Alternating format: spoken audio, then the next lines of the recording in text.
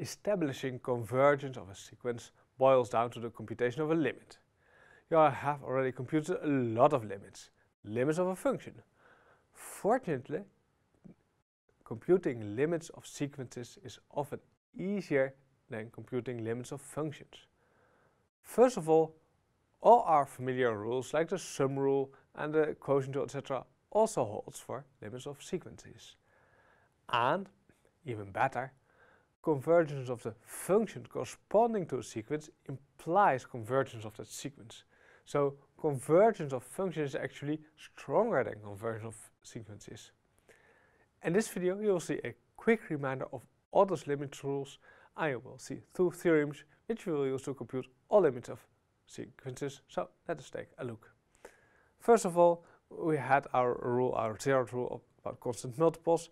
If you have a constant c you can take it out of the limit, take it in front and we get the limit n to infinity of c times a n, take the c in front equals c times the limit and to infinity of an. Then, same as for functions, we have the sum rule, limit n to infinity of an plus bn equals limit n to infinity of an plus limit of n to infinity of bn, if all limits exist. So you can compute either sum first and then limit, or limits first and then sum. Next, product rule. What again was a product rule? Well, if you have a product, uh, limit n to infinity a and bn, then you can compute either the product first or take first the limit and then the product. So compute limit n to infinity an times limit n to infinity bn.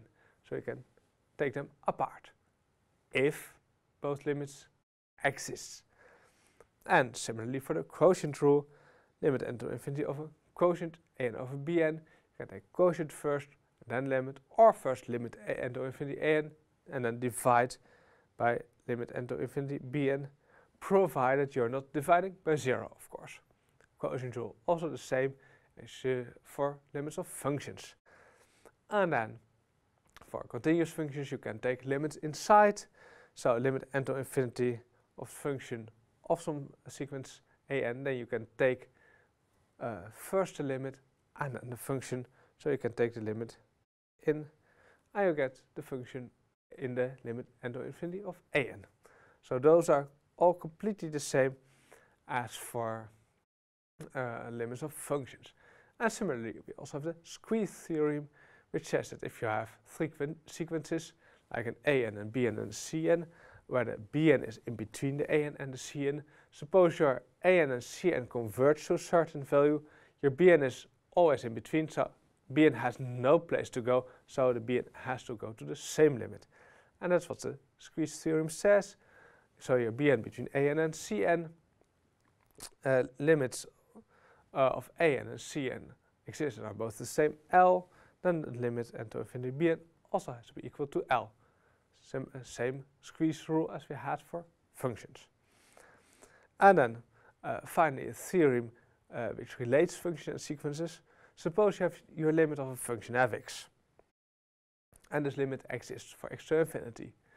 And suppose you have the corresponding sequence. So an is a function evaluated at the integer values. So uh, remember when we, had, uh, when we have, for example, fx equals 1 over x, our an will become 1 over n. fx is defined for all x, and your an is only defined at n equals 1, 2, 3, etc. So we have the sequence corresponding to the function. If this limit of my function exists, then also the sequence an is convergent and has the same limit. So if you know that the limit of the function exists, then also of the, the limit of the sequence exists. But this is actually stronger. The, the limit of uh, uh, does, uh, does not necessarily hold vice versa. So now we have all our limit rules, we have two theorems, so we are ready to compute some limits in the next video.